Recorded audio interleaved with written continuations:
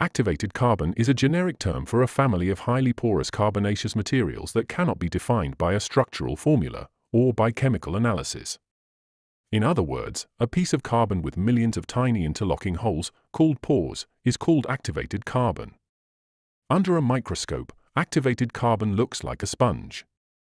The millions of tiny interlocking holes occupy space within the carbon and thus activated carbon has a very high internal surface area. Typical activated carbons used in the carbon in pulp, CIP, and carbon in leach, CIL, processes have surface areas of about 1,000 square meters per g, i.e. 1 gram of activated carbon, the amount of which will occupy the same space as the end of a person's thumb, has the same surface area as two football fields. Once the ground leached ore and slimes have settled in the agitation tank the pregnant leach can be vacuumed off the top resulting in a leach that still needs some filtering. Carbon can be used in pulp or in clean leach. In this case, we, we are using coco carbon in a recirculating leach stream. We are using a homemade carbon cartridge that is made from 1-inch clear PVC pipe. A small fountain pump is used to run the pregnant leach through the coconut carbon. To filter the leach we use fiberglass wall insulation. Be sure to replace it before it becomes completely clogged. We now make our own stackable fiberglass filters from Home Depot buckets that can be changed in a few seconds. Stackable filters make clarifying the leach much easier. In this leach, we used EcoGoldex. It is a relatively safe leach that works on the high side of the pH spectrum. Some people even call it a cyanide substitute. The manufacturer even says it works better than cyanide. We have tested it and have found that with a fine grind, heat, agitation, and the addition of an oxidizer it works fast. EcoGoldex has a cut-off point just below copper. That means that it is likely to leach only metals lower than copper on the reactivity chart. This is very important to us because of the very high iron content in our concentrated ore. Our ore is basically gold-rich black sand. Once the pregnant leach has been clarified it's ready to run through activated carbon. Activated carbon can collect 3 to 4% of its weight in gold from a clear leach.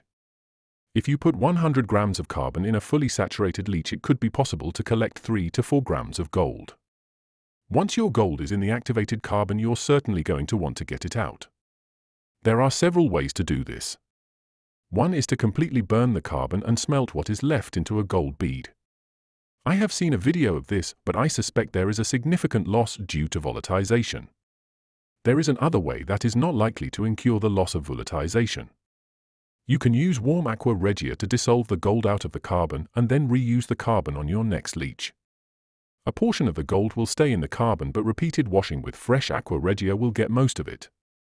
There are many other types of activated carbon, but for gold recovery most refiners use coconut carbon.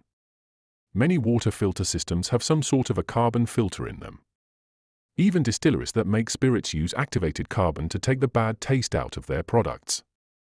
The heart of any CIP or CIL plant is the activated carbon as it is the activated carbon itself that adsorbs the gold.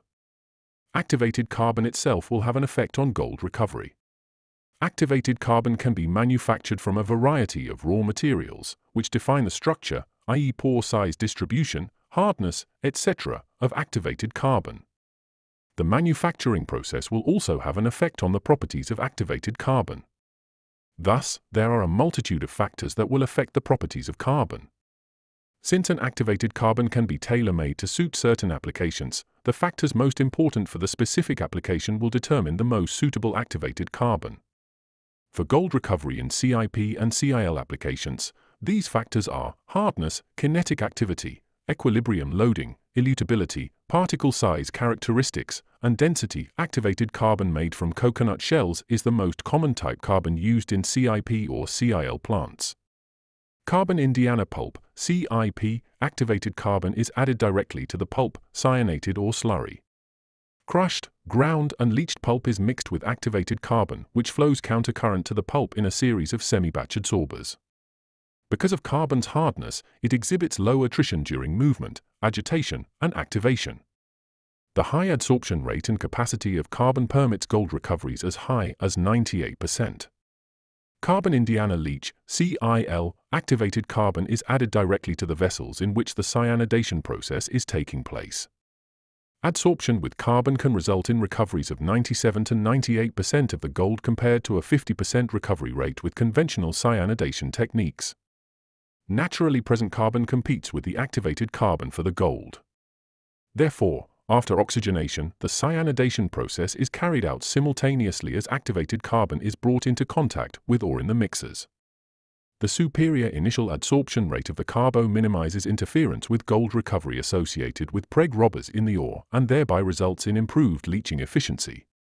Carbon Indiana column, CIC, appropriate for cases where gold is already in solution, such as with runoff, soluble gold in a water source, overflow, return water from a tailings dam, etc. Activated carbon columns in series or parallel flow mode are used to collect gold using packed beds or a fluidized bed, packed beds can achieve gold recovery efficiencies greater than 95%. Efficiencies of 50 to 70% per stage are noted with fluidized beds. The process for cyanidation and leaching with EcoGoldex are the same and we are using the terms interchangeably.